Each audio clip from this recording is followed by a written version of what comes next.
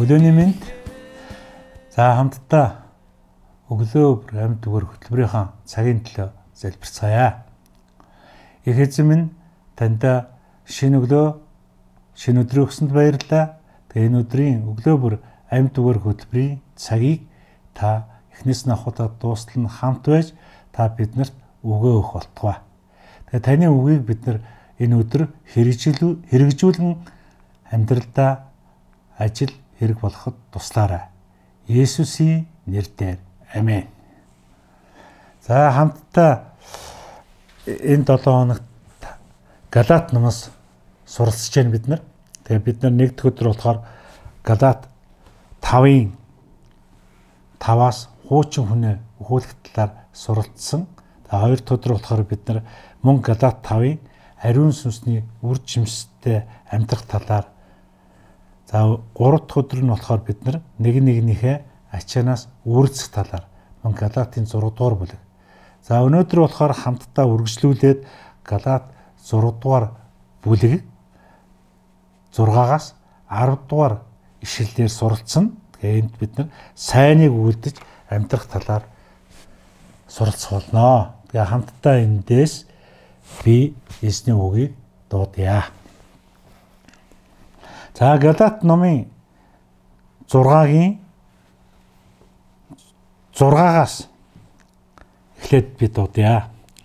Үгэнд суралцагч нь сурагчтайгаа сайн бүхнээ хуваалцаг. Бүү мэхлэгд бурхан элэг дог болохгүй. Юу гэвэл хүн юу тарьснаа л хурааж авдаг. Учир нь махбоддоо боддоо таригч нь махбодоосоо ялзарлыг хурааж авна. Харин сүнсэн таригч нь сүнснээс мөнх амийг хурааж авна сайныг үлдэхдээ үл зуцъя. Учир нь бид шантрахгүй байвал цаг нь болохоор хурааж авна. Тиймээс бид боломжтой үедээ бүх хүнд юуны төрөнд итгэлийн гэр бүлийн гишүүдэд сайныг үлдэцгээе. Амен. За 6 дугаар ишлээс эхлээд хамтдаа суралцъя. Тэгээ өнөөдөр номлогч пастор эсвэл Бурхны үгийг дамжуулдаг бусад хүмүүс эс бид нар эзний ивэл ерөөлийг бид нар авч байдаг. Тэдэнд бодит хэрэгцээ байгаа бас бидэнд хэрв тийм бол тэдний одоо заавраар өрөөгдсөн та бид эргүүлээд тэр хүмүүс сайн бүхнээ хуваацах ёстой юм а гэдэг санааг өнөөдөр энд хэлж байна. За дараагийн ишлэлд болохоор юу гэвэл хүн юу тарьснаа хурааж авдаг тухай. Энэ дүрэн бол бодит ертөнцийн байдаг бүх хүмүүст хамаатай дүр юм. Энэ дүрэн болохоор бүх хүнд бас хэрэгжүүлж бид нар өдөр бүр хийдэг ажлаас бол хамаарч идэг. Тэгээ бид нар сайныг тариул сайныг л хурааж авна. Мууг тариул муу хурааж авна гэдгийг хүн бүхэн мэддэг. Гэхдээ бидний юу тарьж байгааг бурхан өөрөө мэддэг бас харж идэг. Тэгээ бурхан бол хизээч элэг доог болдгоомаа гэдгийг бас энэ ишлэлээр тодруулж хэлж байна. Бид бусдад хэр их өгн тэр хэмжээгээр Бурханаас хүлээж авч идэг. Харамгүй сэтгэлтэн дэвжин дээшилдэг. Бусдыг тэнхрүүлэгч нь өөрөө тэнгэрх болно гэд Библиэд хэлсэн байна. За бид нар бас дараагийн ишлэлд болохоор өөрийнхөө махан бие таригч нь буюу тэр өөрийнхөө махан биед үйлчлдэг махан биеийн шагнд болох яззарлыг хүлээж авдаг тухай гарч байна. Тэг яззарл буюу махан биеэс бол үхэл ирдэг гэдгийг бид бүхэн мэднэ. Харин сүнсэн таригч нь сүнсний шагнал болох мөнх амийг хүлээн авах болно. Амен. Хэрв хүн сүнслэг үр жимсийг одоо хураахыг хүсдэг л энэ ажлыг бид нар хийх ёстой. Хэрвээ махан биенийхээ үр жимсээр явах юм бол бид нар яах нь вэ? Үхлийг хураах ба махан биеийн үүсийг л хийгээд байна гэсэн. Тэгээ ийм зүйлсийг хийхгүй байхын өнөөдөр биднэрт эзэн бурхан сануулж байна. За бурхан үргэлж зөв шудраг бурхан бидний бас хийж байгаа ажил үйлчлэлийн маань дагуу шагинж байдаг юм аа. Амен. Тэр бидэнд ажилсны маань төлөөсийг үргэлж өгч байдаг. Амен.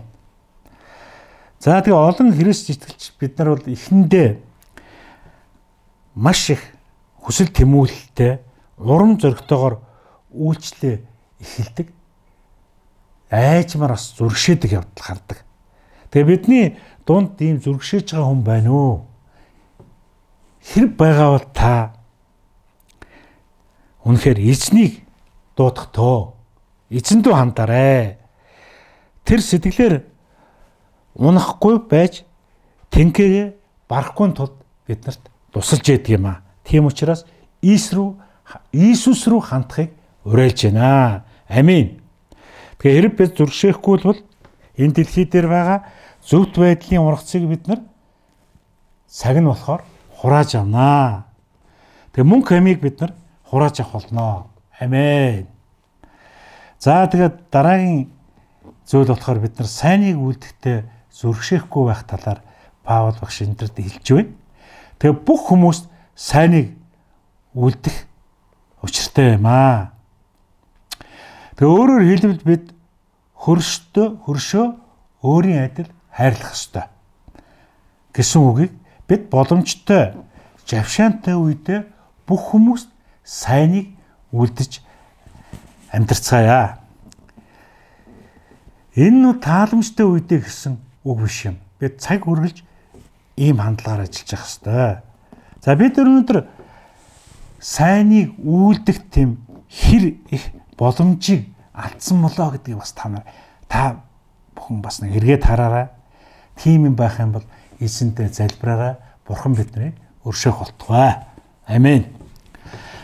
За бид бүх хүмүүст тэгээ юуны төрөнд итгэлийн гэр бүлийн гишүүд буюу Бурханы гэр бүл болох чуулганы хүмүүстэй сайныг үлдэж амьдарцгаая. Амен. Тэгээ энэ өдрүүдэд үтсэн Галаат намаар дамжуулан хилж байгаа энэ үг бүрийг хамтдаа хэрэгжүүлэн амьдарцгаая. Тэгээ үгийн цагийн төлөө хамтдаа залбирая. Баярлалаа Иесус. Тэгээ энэ өдөр та өргөслүүдэн биднэрт Галаат номын 6 дугаар бүлгээр дамжуулан өгөө өгсөнд баярлалаа. Тэгээ бид нар таны үгийг зүрхний самбартаа бичиж аваад түүнийг хэрэгжүүлдэг байхад та бидэнд туслаарай. Таны үг бидний хөлдөх дэнлүү болох болтугай. Бид бүхэн таны үгийг хэрэгжүүлэн амьдрахад та ариун сүсээр хөлтөн дагуулж удирдах болтугай. Есүсийн нэрээр. Амен. Эзэн нэр